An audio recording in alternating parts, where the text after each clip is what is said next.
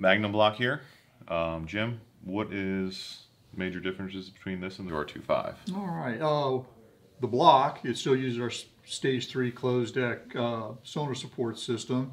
Okay. And now we step up to a 14 millimeter diameter head stud, Okay. which can take, you know, is obviously toward to, you know, a higher spec and provides more clamping, you know, pressure, you know, on the head gasket, Okay. uh, you know, which equals, you know, less chance of lifting a head.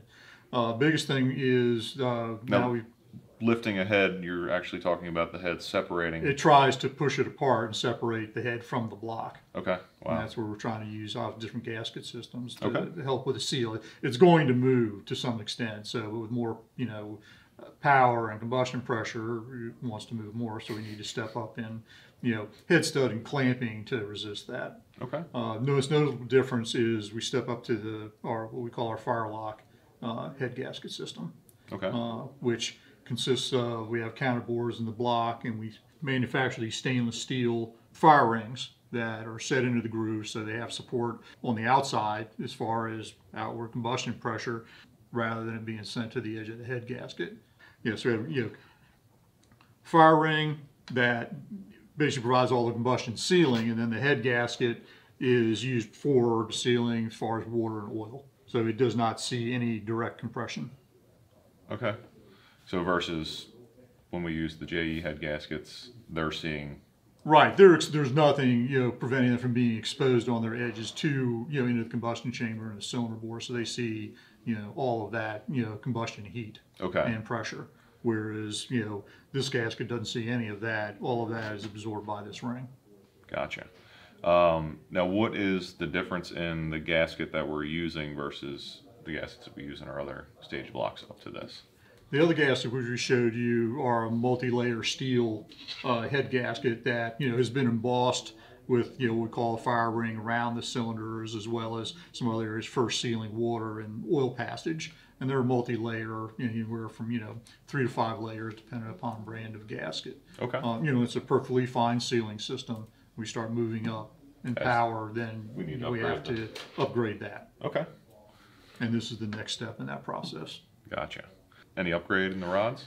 Yeah, with our Madden rod, it's the same style H beam, except in 625 uh, plus ARP rod bolts, but we run a two millimeter longer rod.